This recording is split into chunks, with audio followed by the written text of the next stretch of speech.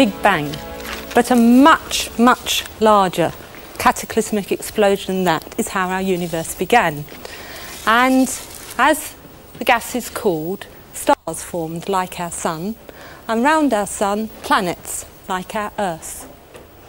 But the Earth wouldn't be as you know it today, it would be quite different. Its atmosphere, for instance, wouldn't contain the oxygen that you breathe, it might contain carbon dioxide and water and nitrogen and methane and ammonia and hydrogen cyanide, which is very poisonous. And these small molecules were around, but gradually the carbons and the nitrogens and the hydrogens joined together to form much more complex molecules, purines and pyrimidines. And these molecules joined together to form the molecule DNA, which is in the centre of all your cells and in actual fact controls the genetic code and makes you all different from each other. And so these molecules gradually join together, not simply to form complex molecules, but eventually to form bacteria and algae, and eventually, as well, the planet was covered with plants. The plants came first because the plants have a very special reaction in them. They're beautifully green, and as the molecules join together and the plant grows, it uses the sunlight and the simple molecules carbon dioxide and water and joins them together to make a much more complex molecule called sugar and also oxygen. And it's the plants that provide the oxygen that you breathe every day.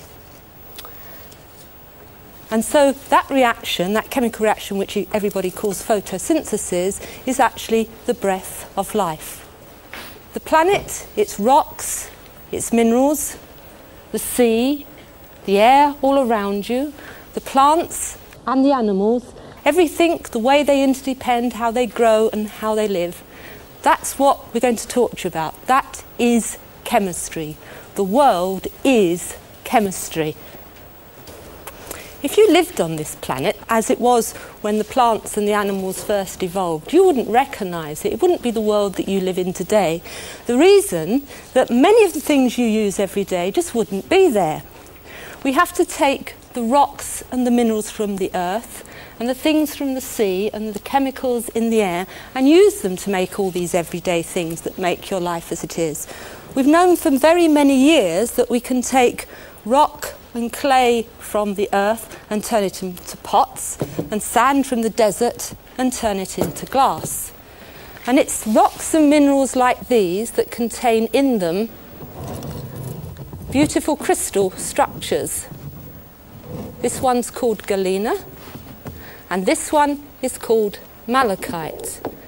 And the one over there at the end of the bench with its nice mauve crystals is amethyst. And these are all solids. The atoms are all joined together in very regular patterns. They can't move apart, they're stuck together. And that's what gives the crystals their nice fixed shapes. They might be joined together, but they can vibrate about. Even a mountain vibrates about if an earthquake runs through it.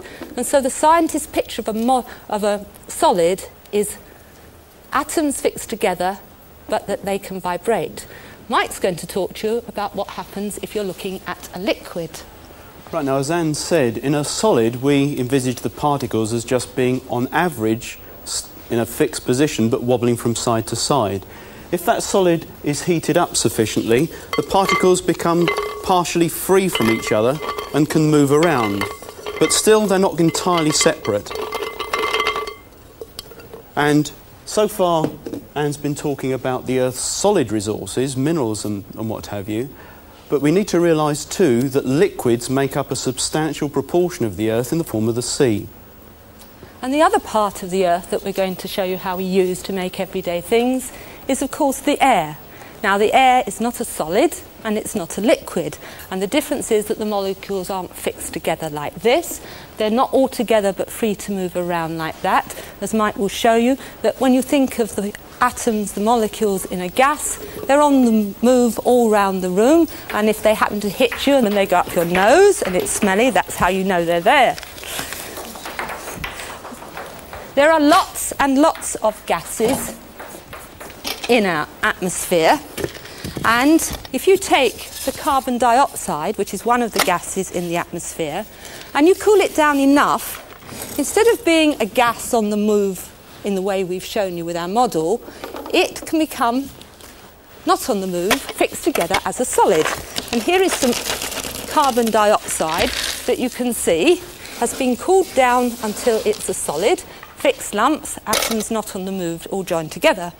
But if we take this solid carbon dioxide and just using some hot water, we warm it up quickly, just like ice will turn to water and to steam when you warm it up. If you warm up this solid, you'll see it turn back into a gas, and the gas is on the move all around the room, and you'll see that happening quite well.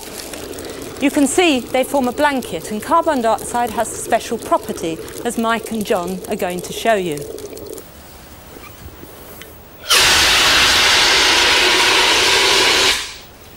And that is, of course, an important use of carbon dioxide. The other part of the air, another gas in the air, is the nitrogen. And the nitrogen, if you cool it down, just like the carbon dioxide, the gas molecules will stop moving around, and eventually you can end up with the nitrogen as a liquid. Now, this liquid is very cold.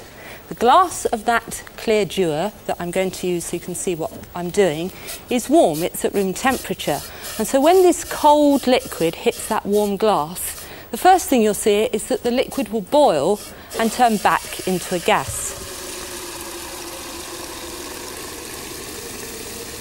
Now, this liquid is very, very cold because when the weathermen say in a winter's night, oh, it's going to be minus 10 outside, you know what it's like in the morning. Supposing they told you it's going to be minus 20 outside, you imagine what it would be like when you went out in the morning. Well, this liquid is at minus 196. And because it's so very, very cold, the liquid nitrogen has unusual effects on other molecules. If you take this nice bouncy set of molecules, which can vibrate, just like my model, in the rubber, and we put them in this very cold liquid nitrogen, instead of being able to move around, the liquid nitrogen will stop the molecules of the rubber even being able to do this. And so, when I hit that end with a rubber, instead of bouncing, it will break just like a piece of glass. This makes the liquid nitrogen very useful because biologists, bacteriologists, people looking for new vaccines, cures for cancer and aid sometimes need to keep virus cells and bacteria cells or delicate molecules and stop them moving around so they can't react. And they store them in liquid nitrogen. And that's a picture of a scientist lowering some cells into liquid nitrogen so they can be kept. We can show you that here because if we take some nice simple cells like a plant, which are not too different from the cells in your body, they're the same sort of molecules, and we put them in the liquid nitrogen. This is what would happen to your fingers if you were silly enough to put them in here.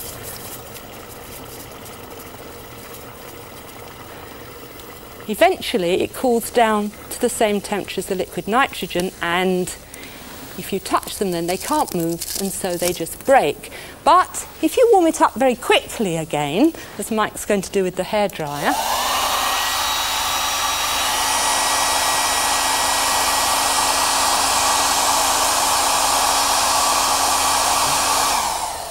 then they're all right. They can move around again and they will go on living as before. It's a liquid, very cold liquid, but just like any other liquid, if you warm it up, it will turn into a gas. I'm not going to freeze your toes, but I'm going to show you it turning back into gas. If you lift your toes off the ground, you'll see my liquid as it goes on the floor. Spreads out and the floor warms it up and it turns back into a gas. Imagine what it would have been if I'd been chucking water around and it would have stayed as a liquid. There'd be lots of puddles. But now the nitrogen's gone back into its normal gas form and it's spread out all around the room. There's one more use of the nitrogen that's very important. Nitrogen in the air is turned into a chemical called ammonia, which is used to make fertilizers. And fertilizers are used to grow our plants and our food. If we don't have the right fertilizers and our climate's not very good, then we would have the situation of deserts and famine and you wouldn't have enough food to eat. But our climate's good and we can use the fertilizers to grow crops to provide you with the food that you eat. And that's the use of the nitrogen in the air. Mike's going to tell you about another gas in the air, the oxygen. Well, so far Ann's been talking about the unreactive gas in the air, that's nitrogen. But oxygen, as you'll see in a moment, is very, very reactive. It's what makes things burn, it's what's help, help things to burn. So far I've got a piece of wood that's not really on fire, it's just glowing, not doing very much in air. But as soon as we expose it to oxygen in the gas jar there, it burns very, very, very much more brightly. Now we don't always need oxygen in the form of a gas to help things burn.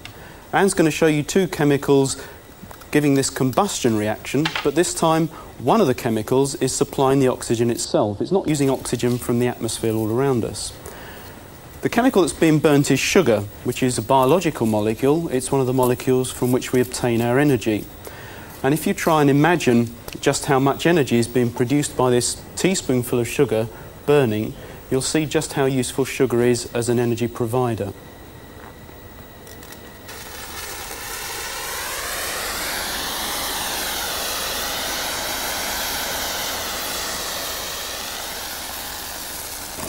Another simple combustion reaction I can show you is one involving an element that you may have seen before, you most certainly have, and that's phosphorus. It's one of the ingredients that's used to tip matches. Stored under water, just to keep it safe, so before it'll burn, the water needs to be evaporated.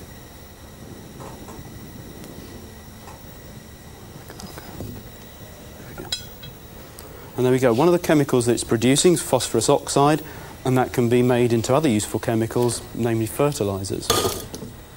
It's burning very vigorously, as you can see. Another element that we can combine with oxygen is sulphur. This burns in air just more quickly, not so vigorously, but when it's in oxygen you can see it burns with a very bright blue flame. And the oxides of sulphur that are being produced can be turned into useful chemicals like sulfuric acid, the main important use of sulfuric acid that you've come across is its use in car batteries. Sulfur dioxide can also be a problem because it's a byproduct of some industrial processes, and for that matter, sulfur trioxide as well. And it's one of the chemicals implicated in acid rain, and I'm sure you've all heard about that recently.